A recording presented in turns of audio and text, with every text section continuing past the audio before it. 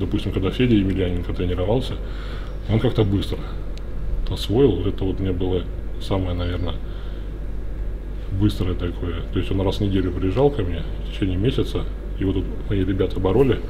Через месяц они технично подкованы были. То есть они слабее у Феди были, слабее физически. Но за счет технических параметров они у него выиграли. И буквально через ме- месяц, там, раз в неделю он приезжал, то есть он уже понял и начал делать уже технически, и он их всех выиграл.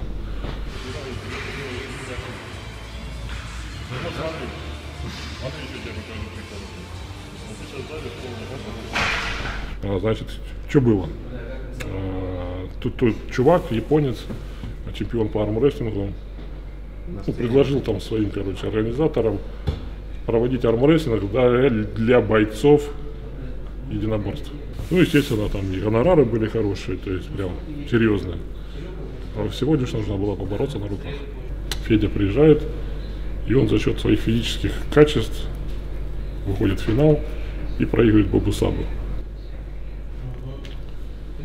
Но я об этом тоже не знал, как и ты.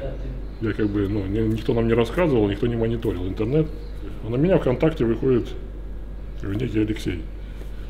Я как бы даже не смотрю, кто это такой, мне пишет сообщение. Вот у меня друг, говорит, у меня друг хочет научиться бороться. Не можешь ли ты посоветовать что-то?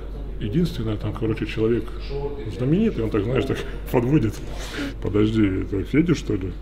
Да, да, да. И он начинает рассказывать про этот турнир. И у меня сразу такой херах, нифига себе. Ну, то есть я по-другому начал все это воспринимать. В принципе, соревнования должны быть, были быть в декабре в Японии.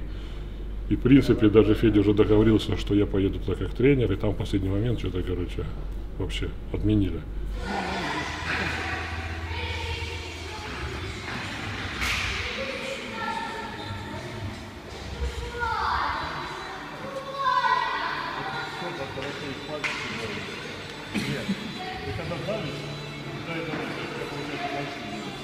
А Федя проиграл только Бобу Сабу, но Бобу Саб видел, ви- видно было то, что он такой, видишь, у кого-то все-таки с кем-то проконсультировался, кто-то его потренировал, и он очень технично все делал.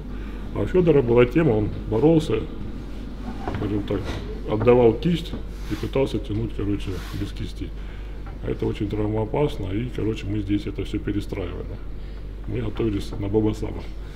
Блин, лет 5-6 назад. Надо посмотреть. Мне даже это самое, если честно, я этих видео не выкладывал. У меня даже видео на iPad есть, там, где мы, я его тренирую. Я это не удалял ничего, но я не выкладывал, потому что Федя не любит это. Но я думаю, для такого, для передачи твоей нормально будет.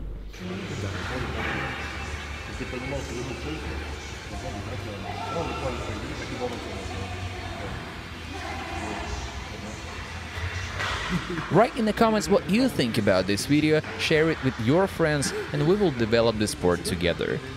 And of course, subscribe to the True Power channel.